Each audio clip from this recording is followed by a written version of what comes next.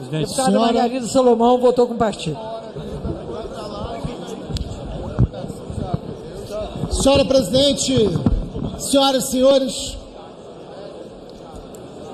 primeiro dizer que o PSOL tinha, tenha pensado esse projeto também, um PDL de mesmo conteúdo, porque é inaceitável, deputados, inaceitável que em pleno século XXI, nesse momento, depois de tudo que a gente passou, no primeiro mês de governo, venha um decreto, venha por decreto a ideia de acabar com a transparência. Não adianta vir para cá subir no plenário e dizer que não é bem assim.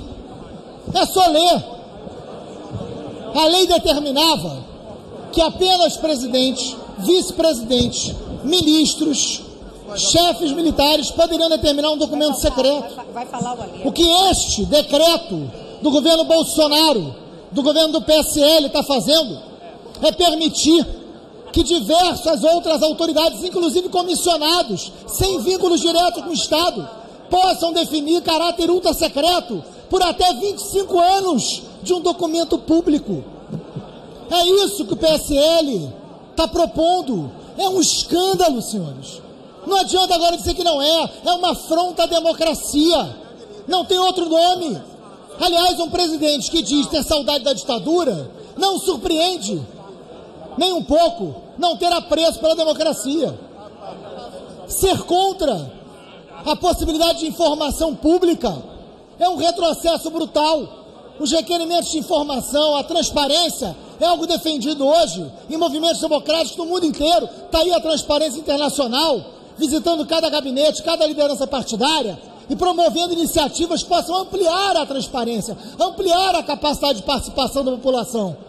Essa é a melhor resposta que essa casa tem que dar à enorme crise de representatividade, à enorme crise de democracia que a gente vive.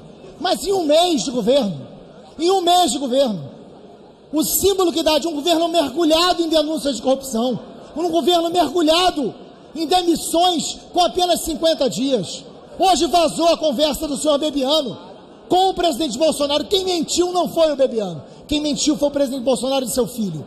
O conteúdo é gravíssimo. Mostra um laranjal, envolvendo inclusive deputado dessa casa. É muito sério.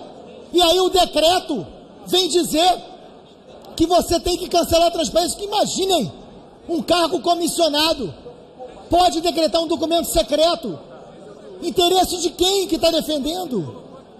Estão perdendo aqui, mostrando que são contrários, mas vão perder essa votação, como estão perdendo apoio popular como já não tem mais entusiasmo, com tão pouco tempo, é uma afronta à democracia e será derrotado. Será mais uma derrota da tirania nessa casa.